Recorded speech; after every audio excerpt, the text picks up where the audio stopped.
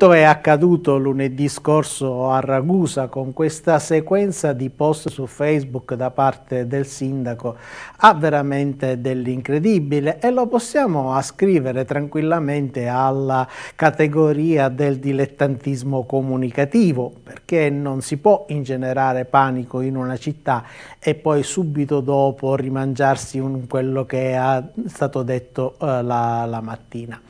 Ma non voglio commentare questi fatti mm, perché d'altronde si commentano da soli. Però questo, quanto è accaduto mi dà um, la possibilità di fare un'ulteriore riflessione di carattere generale. Questi 14 mesi di pandemia hanno evidenziato ancora una volta come quel cerbero a tre teste delle competenze istituzionali tra Stato, regioni e comuni ha veramente portato ad una situazione che ha dell'incredibile perché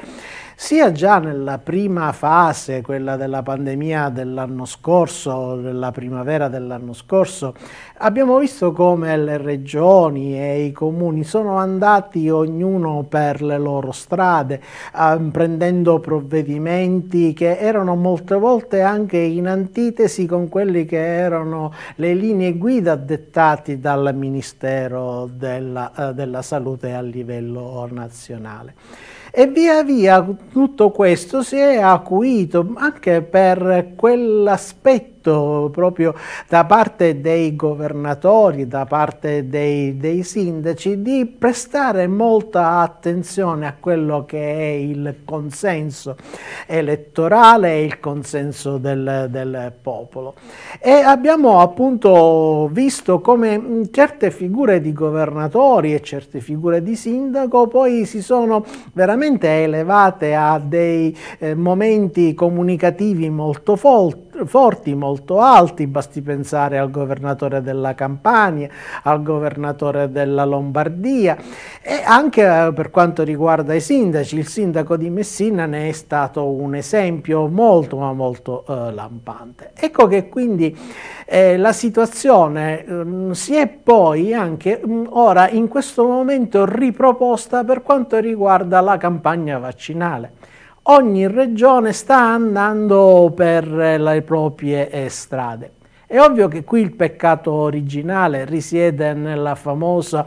modifica del titolo quinto della Costituzione nel 2001 con l'aver dato alle regioni, aver modificato la, la Costituzione e aver dato appunto alle regioni quella legislazione concorrente in tema di sanità che poi nel nostro territorio, nella Sicilia, il problema si acuisce anche per, in considerazione del fatto che la regione siciliana ha competenza esclusiva sulla materia sanitaria. Quindi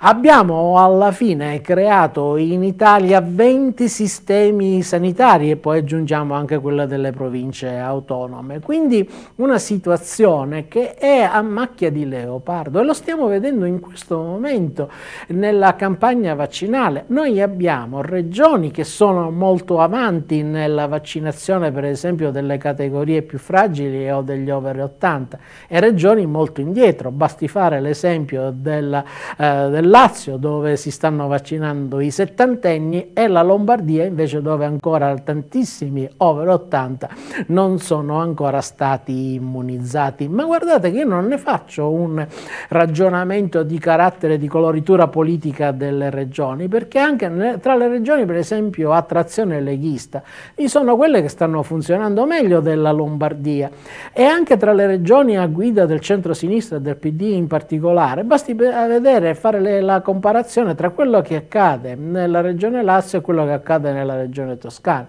Due mondi completamente differenti. Ecco che quindi qui la situazione sta sfuggendo di mano perché non vi è la possibilità di incidere dal livello nazionale su questi 20 sistemi sanitari e non vi è la possibilità proprio perché abbiamo quel tipo di legislazione concorrente da parte delle, delle regioni e eh, non possiamo intervenire con un'azione molto decisa, molto dura sulle, eh, sulle regioni che sono più indietro nella campagna vaccinale. Altra cosa sarebbe quella appunto di ipotizzare, eh, ma questo è un discorso che dovrà vedere il, il prossimo Parlamento, quindi la prossima legislatura, ipotizzare un, qual, un disegno di legge e poi um, trasformarlo in legge anche costituzionale, dove si ridà in caso per esempio di emergenza un potere centrale che è valido per tutte le eh, regioni e per tutti i comuni. Perché poi, ecco, anche i sindaci, ritornando un attimo a quello che è stato eh, passato dai ragusani lunedì, anche i sindaci poi sempre attenti a quello che è il loro consenso, a non, magari a non disturbare determinate categorie, poi sì, eh, non hanno eh, intrapreso azioni decise, ma ci sono però anche sindaci che invece, come abbiamo visto nel recente passato, sono andati in piazza a togliere i tavolini a gente che protestava e faceva assembramento. Ecco che quindi Dobbiamo eh, ritornare ad avere un'uniformità di, eh, eh, di, norme, un'uniformità di operatività che in questo momento manca. E questo guardate che poi dà al, ai cittadini un attimo di smarrimento perché non si capisce mm, in quanto poi si creano cittadini di serie A e cittadini di serie B perché è ovvio che l'ottantenne che abita nella, in Lombardia si sente eh, sicuramente diverso rispetto all'ottantenne che abita nella regione Lazio e questa disparità di trattamento non può essere accettata minimamente, bisogna tornare ad una uniformità eh, di trattamento.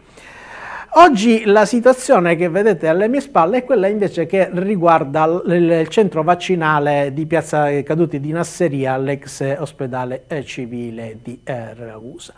Eh, anche oggi, stamattina, si sono riformate le solite file, le solite problematiche, con attese lunghe e um, in una situazione oggettivamente che è carente Ora, io eh, ho visto e ho letto molti post anche di alcuni personaggi politici locali eh, che fanno un appello al sindaco perché mh, mm, apra più centri vaccinali e, quindi, e di, mm, cerca di andare incontro ad una migliore organizzazione. Ma non è solamente facendo un appello al sindaco che si risolve il problema. È ovvio che qui dobbiamo prendere coscienza che in alcuni casi è stata sbagliata questo, la scelta di questo sito perché appunto l'ospedale, il vecchio ospedale civile, non ha la possibilità di accogliere all'interno e quindi al coperto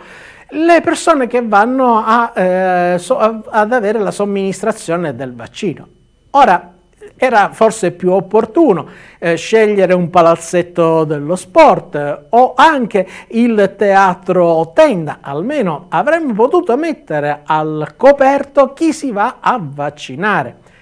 Ma a parte il discorso della scelta del sito, non è che perché lo abbiamo scelto una volta non possiamo tornare indietro un'amministrazione se si rende conto che una scelta è sbagliata o l'ASPEL si rende conto che la scelta è sbagliata, deve tornare indietro e cercare di eh, migliorare la situazione, perché qui non è che la campagna vaccinale finisce domani, ma andrà avanti per molti mesi e dato mh, mm, come sono i numeri delle, eh, delle, dosi che si può fare, quelle che ci sono, non penso che la finiremo, no, fra, la finiremo tra molti eh, mesi. Ma a parte questo, non, è, non basta eh, fare gli appelli al, al, sindaco o fare gli appelli al, al manager del, dell'ASP numero 7. Qui bisogna andare a individuare un qualcosa di concreto. Dobbiamo per esempio avere la capacità eh, di creare a Ragusa una vera e propria authority comunale che eh, si prenda carico di tutta quella che è la problematica della campagna vaccinale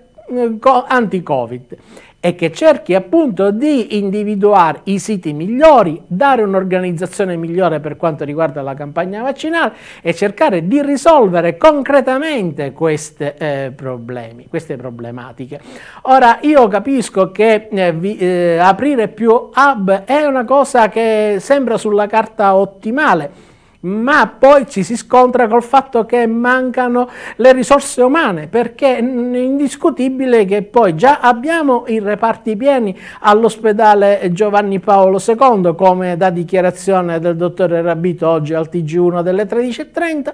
ma e poi abbiamo i reparti pieni e abbiamo anche poco personale da poter distribuire nelle strutture per la campagna vaccinale. Ma a questo punto un authority che si intesti la, veramente in maniera concreta tutto questo è necessario in maniera anche da ottimizzare le risorse umane al meglio. Non possiamo fare semplici appelli, dobbiamo eh, veramente dare eh, eh, contributi di idee perché questa situazione possa trovare una eh, soluzione e non, come dicevo all'inizio, andare avanti con il dilettantismo che in questo oh, momento ci sta contraddistinguendo. Alla prossima puntata.